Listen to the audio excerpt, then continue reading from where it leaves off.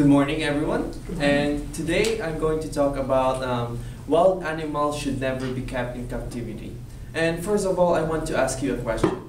Who here think that um, wild animals should uh, should be captured and caged? Raise your hand, please.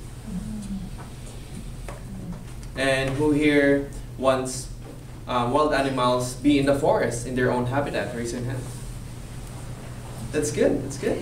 And today, um, I really agree that um, wild animals should be kept um, in their own habitat because um, I have now three things why why I I want them to to be in their habitat.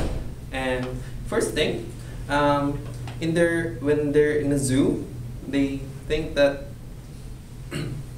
um, they're having a psychological distress when they're in a zoo because the first uh, one of my the details of that is mm, um, by being caged. Um, I I heard an article that um, there's a whale in the news that um, I think her name um, is Dolly the whale, and what I think is that um, she's been here from like um, the uh, in the zoo for like eight years, and what I see is like um, she's been like um, not swimming around in the in the aquarium and she's just like floating around and that's a really bad thing.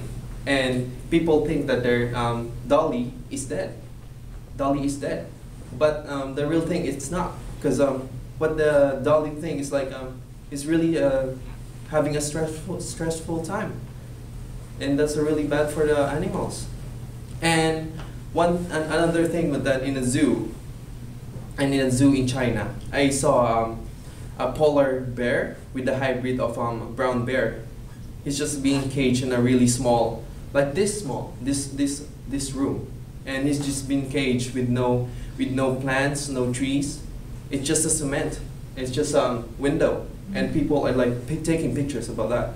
And what I see in a video that um, that polar bear hybrid is like he's crying he's crying and that makes me really really bad. And for me i am an animal lover and i really hate i really hate um, finishing videos about that so. And the second point is um, there's a difference between um, wild animals between the tame animals or domestic animals. Because wild animals if they're going to get caged in the get caged in a zoo they're gonna be really aggressive or maybe really in stress. That's what, what I said earlier. And detained animals and domestic animals, are they okay? Like cows, cows, chickens, dogs, they're fine, right? They're fine. And in my conclusion that um, wild animals should be living, should be living in the forest, like most humans do, like in our own place. And I hope this information um, will help you a lot and I hope you enjoy.